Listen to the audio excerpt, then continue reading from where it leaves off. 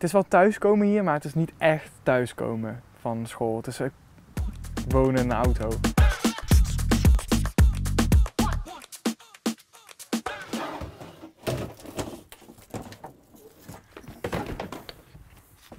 Ik realiseerde me dat als ik vanuit Gelderop moet reizen naar Nijmegen, dat ik daar twee uur, twee uur en een kwartier over doe. Dat is te doen als je om 11 uur op school moet zijn, maar als je om half negen in de klas moet zitten tot vijf, dan hou je het niet vol als je zo heel vroeg op moet staan.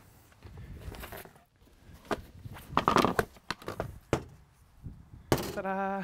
Ja, na de herfstvakantie gaan al die campings dicht voor het seizoen. Dus dan is het terug naar huis. En dan wordt het wel uh, zes uur opstaan en hopen dat ik het dan red om om half negen op school te zijn. Dit is mijn voortuin op het moment. Wel de beste voortuin die ik ooit in mijn leven heb gehad, moet ik zeggen. Het enige vervelende aan op de camping staan vind ik nu het fietsen. Vanaf de Han terug hier naartoe is het tussen de 30 en 40 minuten. Maar dan kom ik thuis en dan denk ik wel van, we hebben het weer gedaan vandaag. Dus dat vind ik wel heel fijn. Toevallig had mijn vader een camper. Toen zei hij dat ik er wel in kon. Dus ik heb mijn eigen keuken, mijn eigen bed, mijn eigen badkamer, mijn eigen bureau en eigenlijk ook mijn eigen auto. Niemand anders woont in dit. Alles in één.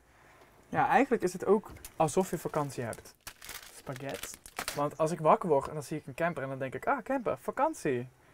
Maar dan moet ik toch naar, toch naar school. Op alles waar ik op kan reageren, dus ook al waren het 6 vierkante meter, ook al was het heel duur, heel goedkoop, ik heb op alles gereageerd. Um, ik heb niet veel reacties gehad, jammer genoeg. Volgens mij zijn we klaar.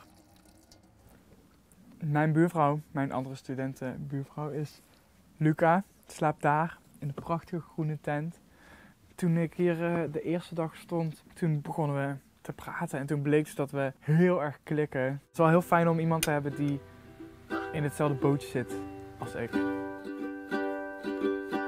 Ik hoop eigenlijk dat ik iets vind wat, waar een bed in past, en een kast in past en een bureau in past. En dan ben ik al blij. Um, vier uur reizen per dag is, ja, is niet te doen. Dan heb ik ook geen tijd meer om huiswerk te maken. This was never the way I planned, not my intention. I got so brave thinking